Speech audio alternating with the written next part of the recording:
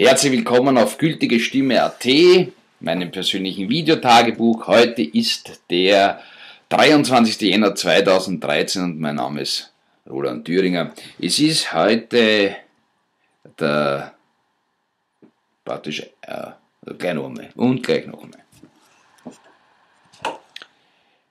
Herzlich willkommen auf gültige Stimme.at, meinem persönlichen Videotagebuch. Heute ist der 23. Jänner 2013 mein Name ist Roland Thüringer und ich gehe heute in die vierte Woche meines kleinen Selbstversuchs. Drei Wochen habe ich hinter mir. Äh, mir geht es sehr gut dabei, hängt aber wahrscheinlich auch damit zusammen, dass ich offenbar kein großes Suchtpotenzial habe. Das ist eine Konditionierung von mir. Äh, ja, ich, ich hab das nicht. Ich hab zum Beispiel, wenn ich sage, ich trinke keinen Alkohol, dann trinke ich einfach keinen Alkohol. Ich habe mir das jetzt zum Beispiel vorgenommen, dass ich heuer keinen Alkohol mehr trinke. Nicht, weil ich gesoffen habe, aber weil mir denke, ich brauche das eigentlich nicht. Und daher trinke ich auch keinen. Äh, und mir geht dann auch nichts an. Äh, darum habe ich ja nie ins Rauchen angefangen oder so, weil das Potenzial bei mir nicht da ist. Daher tue ich mir wahrscheinlich leicht beim Verzichten auf manche Dinge. Äh, weil ich denke, dass alle die Dinge, die jetzt schon langsam so Step by Step weglasse, großes Suchtpotenzial in sich verbergen. Ja, das Auto sowieso, äh, Handy überhaupt keine Frage, Medien, äh, E-Mail-Verkehr, Internet schauen, das sind alles so Sachen. Äh, Supermärkte, einkaufen gehen, konsumieren, das ist alles, alles äh, mit einem ganz, ganz großen Suchtpotenzial behaftet. Ja. Jetzt kann man sagen, da macht uns irgendwer süchtig drauf. Ja, kann schon sein, aber irgendwie muss ich dann selber halt sagen, nein, das mache ich eben gerade. Äh, wenn wir uns jetzt im, im, Detail anschauen, das Auto hat jetzt äh, Kilometerstand 247,5. Normalerweise hätte ich zu der Zeit jetzt ungefähr geschätzte 2020 Kilometer auf mein Dach. Das heißt, ich bin auf 11% meiner sonst üblichen Kilometerleistung. Damit kann man zufrieden sein. Jetzt kann man könnte ich stolz behaupten, ja, ich habe jetzt meinen Schadstoffausstoß äh, total gesenkt. Also ja, habe ich vielleicht, wer weiß, vielleicht habe ich woanders einen Dreck gemacht, wo ich mir gar nicht bewusst bin.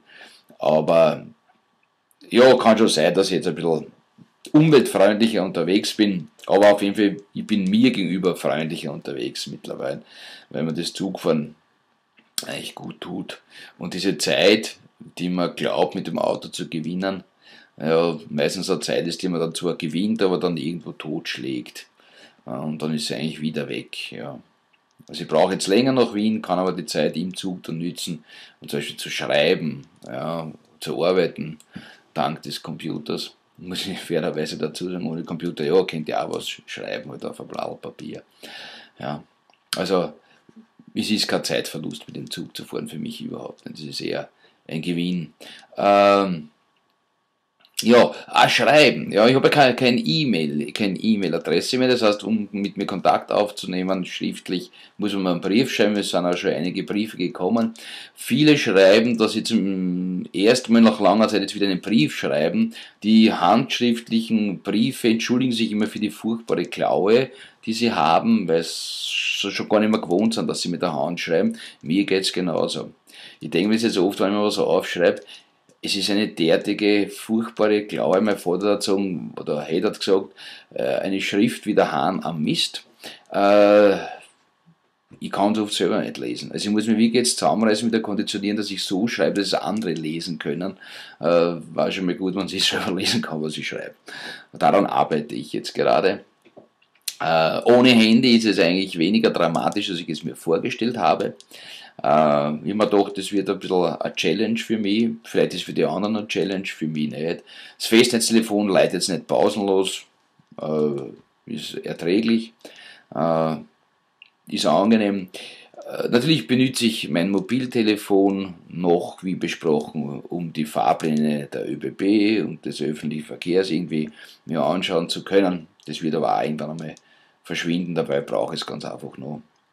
Und die Geschichte mit der Bank ist nun so, dass ich Internetüberweisungen äh, zwar auch mit TAN-Codes machen könnte, die mir äh, per Post geschickt werden. Da hätte man mir freundlicherweise von der Bank als Entgegenkommen dieses Limit für die Überweisungen aufgesetzt. Äh, aber ich habe mir gedacht, na, warum soll man da wegen mir extra Ausnahme machen? Das ist ja nicht der Sinn.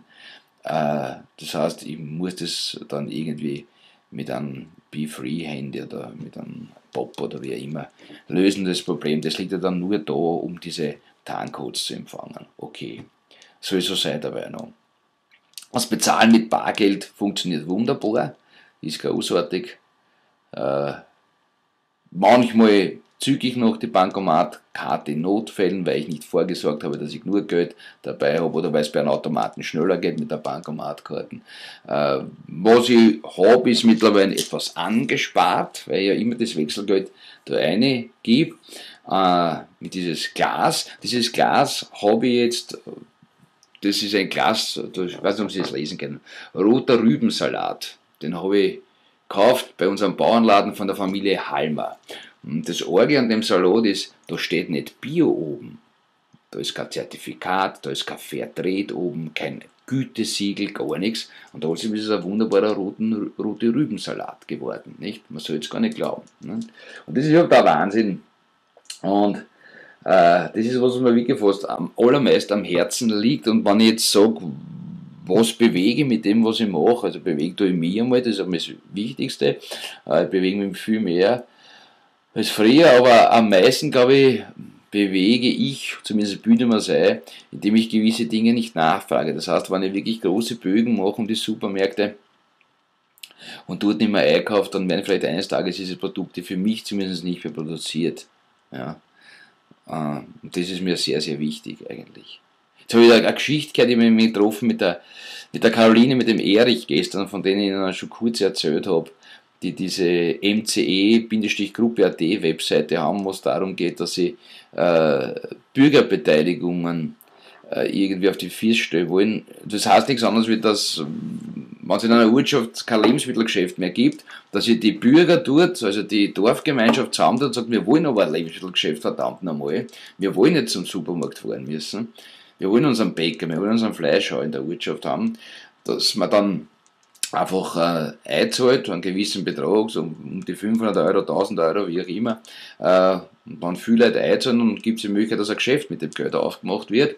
Und nach einigen Jahren bekommt man das Geld dann wieder zurück mit Zinsen. Die Zinsen haben in Form von Genussscheinen, also mit Waren, die von diesem Geschäft kommen. Das heißt, der Unternehmer hat was davon und die Leute haben auch was, weil sie haben endlich wieder ein Lebensmittelgeschäft. Und ähm, sie sind auch irgendwie jetzt nicht gezwungen, aber logischerweise daran interessiert, dass sie in dem Geschäft einkaufen, weil es ist ja ihr Geschäft eigentlich. Ja. Ich finde das für, ich halte das für eine sehr, sehr gute Idee. Ja. Und das wäre schön, wenn sich solche Strukturen in mehreren Gemeinden einfach bilden würden, dass man aus diesem äh, Supermarkt-Wahnsinn irgendwie rauskommt. Ja. Und ich habe äh, der, der Caroline dem Erich auch die Adresse gegeben von lebenswerte Gemeinde.at. Ich glaube, dass es irgendwie relativ gut harmoniert, das sind ähnliche Gedankengänge. Ja, also es tut sich da auf jeden Fall was, das ist sehr, sehr erfreulich. Ja, also nicht wegen mir tut sie was, es tut sie überhaupt was. Ich habe das Gefühl, dass eh, eh viele Leute schon anders denken. Also es gibt wahrscheinlich eh mehr Verrückte, als wir glauben. Ja. ja, dann ohne Zeitungen, ohne Medien, ohne Radio auszukommen, ist für mich die leichteste Übung. Das, was wichtig ist, erfahre ich eh, was habe ich erfahren den drei Wochen. Äh, es ist mir nicht entgangen, dass die Luise Martini im hohen Alter gestorben ist. Das habe ich auf einer Infoscreen bei der U-Bahn. Ich wollte noch wegschauen, aber dann hat es mich erwischt, habe ich, das, habe ich das erfahren, dass Schnellbahn zusammengefahren ist, irgendwo mit vielen Verletzten, habe ich auch erfahren, das ist tragisch, keine Frage. Äh, aber es ist passiert. Ja, passiert. Es kann nicht Unfälle passieren, das ist einfach so. Ja. Und äh, das Endergebnis der Befragung zur Wehrpflicht habe ich auch erfahren. Ja, ist so, gut. Ja, aber sonst geht mir eigentlich nichts ab. Ich habe eher das Gefühl, dass äh, weniger Müll in mich hineinkommt und das tut mir eigentlich sehr, sehr gut. Ja.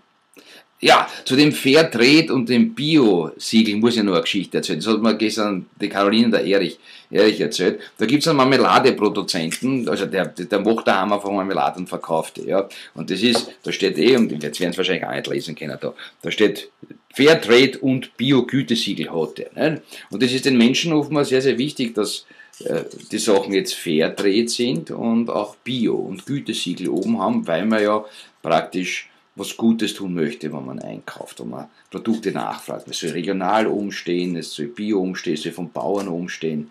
Ja, aber das Wichtigste sind eben diese Gütesiegel. Ja. Jetzt macht er seine Marmelade und macht zum Beispiel irgendeine Marmelade, wo er Äpfel braucht und kriegt die Äpfel vom Nachbarn. Das heißt, der, der, der tragt im Karton oder im Steigen halt die Äpfel zu ihrem um, damit er die Marmelade macht.